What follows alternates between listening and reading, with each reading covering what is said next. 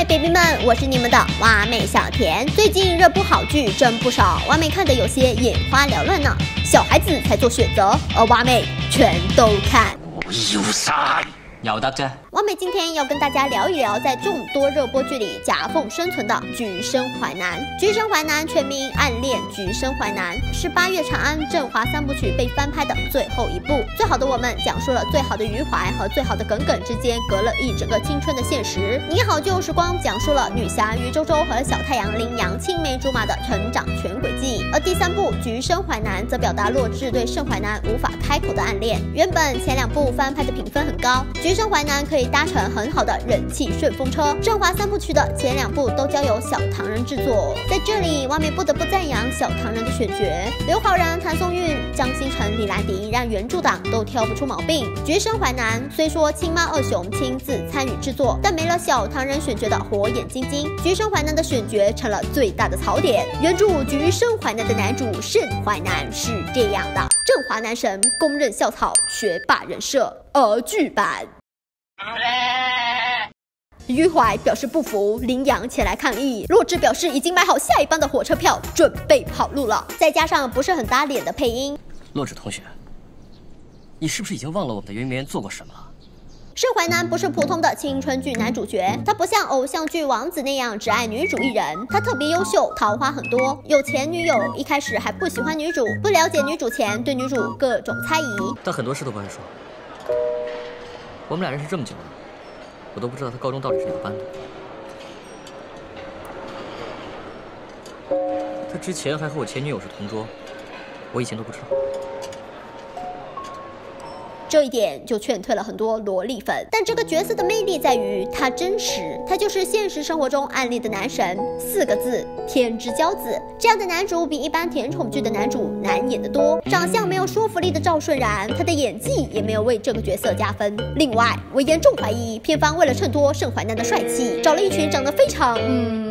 的男演员，原著里的戈壁可是拥有和盛淮南对打的英俊帅气啊。而剧版，这位就是咱们新的社团联的部长李正和副部长戈壁同学。反而张蛙妹心中的 pick，阳光幽默，调侃起人来，表演痕迹还不重，演出了一个高情商的邻家男孩。听说那是因为我们洛枳没参赛。青春剧的市场就是这么残忍，男主一定要帅，如果男主不够帅，还不能让观众 get 到他的苏点，那这部剧就很难打爆了。幸好《橘生淮南》和其他甜宠向青春网剧不同，原小说最大的看点就是暗恋，书里暗恋的心理活动让无数少女感同身受。这是我的秘密，每个人都有秘密。我的秘密叫做暗恋。这不就是我自己吗？网剧最好的地方就是洛枳的选角。对了，最好的我们里，潮然版的洛枳好美丽，好温柔，这是耿耿心中的学姐。谢谢，你长得真好看。而朱颜曼姿版的洛枳才是橘生淮南的洛枳，那个自卑又骄傲的洛枳。真撕开原著，原著形容他简单干净，剧里的洛枳扎着半丸子头，在自己的世界里安安静静的写着日记，有少女的小心思，偷版携带只为了偷瞄盛淮南。听到男神叫自己，惊喜的回头，能麻烦你帮我找一下叶展言吗？再到失望的转身，眼睛里写满了心酸。还有这一个片段，写满了对盛淮南情真意切的日记本被自己弄丢了。洛枳的紧张、慌乱，再到最后的无可奈何。看着剧里的洛枳，总忍不住有代入感。为了盛淮南，即使自己尴尬，也想帮他化持僵持的局面。看着他为了盛淮南练习三根筷子吃饭，明知道盛淮南讨厌肥肉，故意编造了一个自己也很讨厌肥肉的故事。这样恰到好处的小心机，不但不会令人讨厌女主，反而让我们看到了一个更加真实的洛枳，他勇敢、理智、通透。如果委曲求全、绞尽脑汁不是为了迎合呢？为了让喜欢的人看到自己，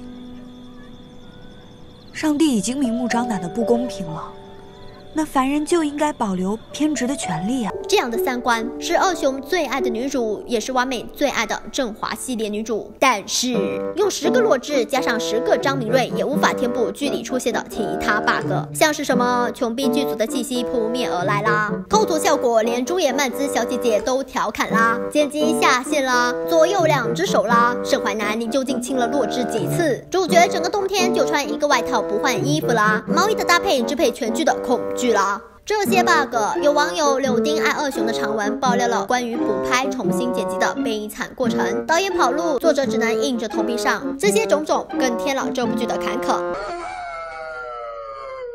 这部网剧在还原原著上没有偏离，它至始至终都向我们叙述了一个细腻的暗恋故事。或许二熊也想给他的三部曲一个完美的结局，可惜这部网剧从七点五跌到了六点九，优点缺点都非常明显。它保留了原著小说的京剧部分，原著粉看了会很惊喜，但由于选角、拍摄等各种问题，它无法吸引非原著粉，无法出圈。这部网剧告诉了我们，电视剧改编和制作，即使有原著作者亲自操刀，但还是需要交给专业的团队来处理。可惜，真是太可惜了，没有碰上专业的制作团队，它留下了太多的遗憾。隔壁胡一天胡冰晶版的《橘生淮南》由东宫导演李牧歌执导。完美期待能有一部真正的振华收官作。好了，今天完美就讲到这里。你们对网剧《橘生淮南》有什么看法呢？欢迎在弹幕或者是评论区留言。微博关注哇哇哇美，完美在这里等你哦。